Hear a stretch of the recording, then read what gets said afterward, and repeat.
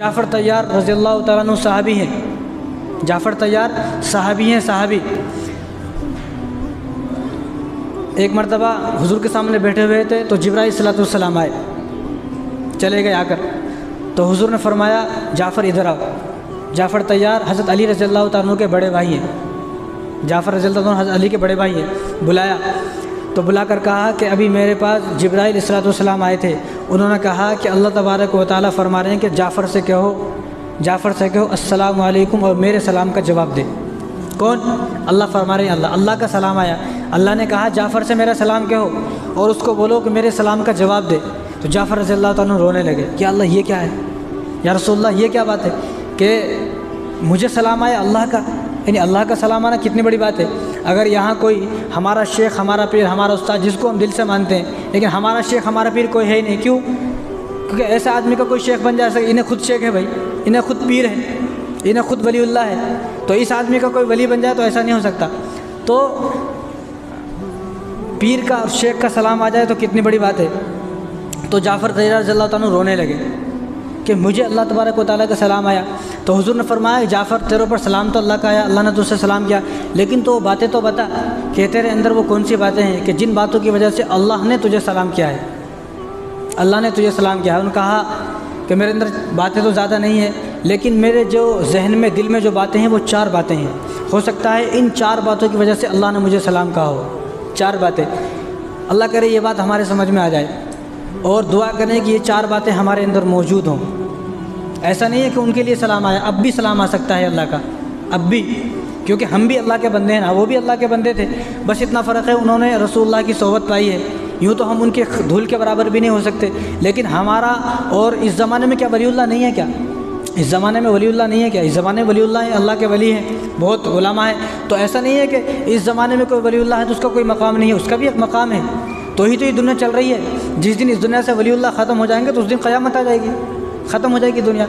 तो हुजूर ने फरमाया कि वो कौन सी बातें हैं? तो उन्होंने कहा कि मेरे अंदर चार बातें हैं। हो सकता है इन्हीं चार बातों की वजह से अल्लाह ने मुझे सलाम कहा हो। सबसे पहला जो बात है मेरे अंदर, वो ये है, देखो इन्होंने जो कलमा पढ़ा है ना, वो जवानी में कलमा पढ़ा है। हम तो बचपन से मुसलमान हैं। इन्होंने कलमा जवानी से पढ़ा है। इन्होंने कहा कि मैंने बचपन से, जब मैंने कलमा नहीं पढ़ा था, मैं कुफ्र में था, उस वक्त से लेकर आज तक मैंने शराब को हाथ भी नहीं लगाया। शराब को हाथ भी नहीं लगाया। आज तो हमारा मुसलमान खुलेआम शराब पीता उसको कोई डर ही नहीं है। और शराबी का तो अब्दुल्ला बिन मसूद अल्लाह फरमाया कि शराबी आदमी को जब कब्र में दफन कर दिया जाता है, ये मुसलमान की बात है। गैर मुस्लिम तो आप छोड़ो कि मुसलमान आदमी शराब पिए और इसको कब्र के अंदर दफन कर दिया गया तो ये कब्र के दफन करने के बाद इंसान नहीं रहता, ये खंजीर बन जाता है। उन्होंने कहा तुम खोल के देख लो। अगर किसी को यकीन ना आए तो अब्दुल्ला बिन मसूद ने कहा, क़यामत तक मेरा चैलेंज है। अगर किसी को यकीन ना आए तो क़यामत तक जो आदमी शराबी है, उसकी कब्र को खोल के देख ले, वो आदमी खंजीर है। नहीं है तो क़यामत के दिन मेरा गिरबान पकड़ लेना। कितनी बड़ी बात है। ये साहबी हैं साहबी। साहबी रसूल फरमा रहे और आज हमारे मुसलमानों के अंदर खुलेआम पी रहा कोई उसको कोई दिक्कत नहीं, कोई डर नहीं, कुछ भी नहीं, आराम से खुलेआम पीता है वो किससे डरता भी नहीं। ओ भाई, आदमी से डर, अल्लाह से डर। उम्मुल खबाइस, हुजूर ने फरमाया, उम्मुल खबाइस, सारी बुराइयों की जड़ है शराब। जब आदमी शराब पी लेता है तो उसको बहन बहन नज़र नहीं आती। उसको बहन भी गर्लफ्रेंड नज़र आती है। उसको माँ माँ नज़र नहीं आती, उसको माँ भी बीवी नज़र आती है।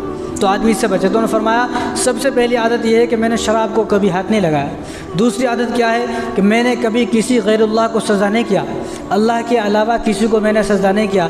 आज तो हम लोग अगर मुझे किसी ने दो तीन हज़ार रुपये दे, फ़ायदा कर दिया, दिल करता है, इसको सजा कर दो। उसको खुदा समझ लेते। जगह जगह पर सजा कर रहे हैं जाकर जगह जगह पर सजा कर रहे हैं। मना किया जा रहा तो लोग मानते नहीं हैं। और मना किया लोग बोलते वही ताजिमन सजदा है भाई। ताजिमन सजदा अगर है तो मैं आपको एक बात बताऊँ, अजीब बात।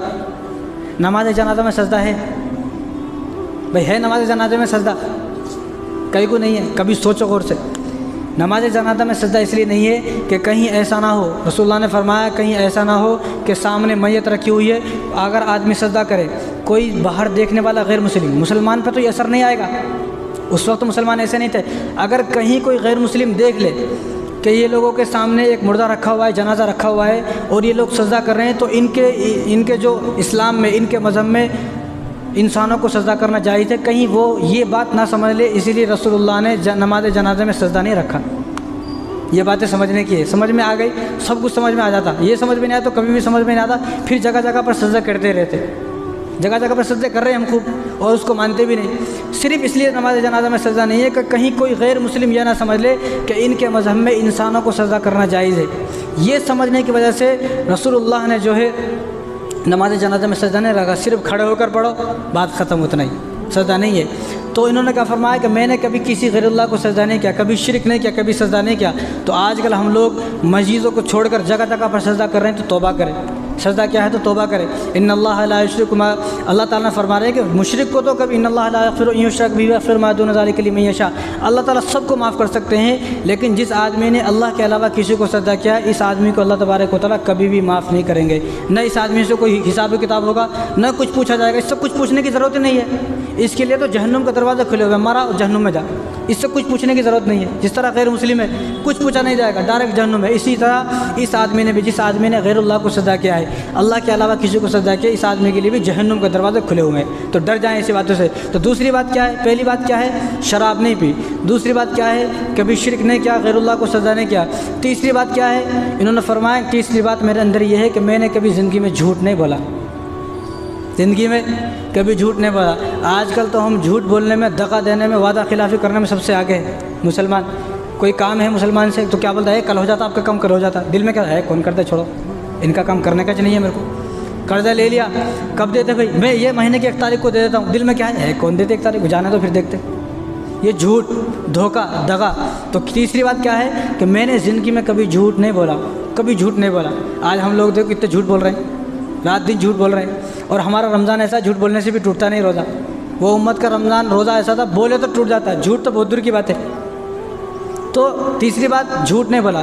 चौथी बात क्या है? मैंने कभी किसी गैर महरम पर बुरी नज़र नहीं डाली। मैंने कभी किसी गैर महरम औरत को नहीं देखा। कभी ज़िंदगी में मैंने कभी किसी गैर महरम औरत को देखा ही नहीं। मेरी नज़रें कभी गई नहीं।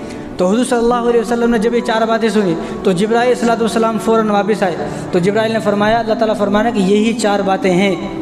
यही चार बातें हैं। जिन बातों की वजह से, जिन चार बातों की वजह से अल्लाह तबारक वाली ने जाफ़र तैयार को सलाम कहा कि जाफ़र तैयार से मेरा सलाम कहो और उसको कहो, मेरे सलाम का जवाब दे। तो हमारे अंदर चार बातें हैं कि नहीं है? हम अब इन चार बातों को अपने अंदर लाने की कोशिश करें। अगर हमारे अंदर ये चार बातें नहीं हैं तो भाई डर जाए। कहीं ऐसा ना हो कि गैर महरम पर नज़र डालेंगे। नज़र की वजह से हमारा ईमान भी सलब हो जाए। इसलिए ने फरमाया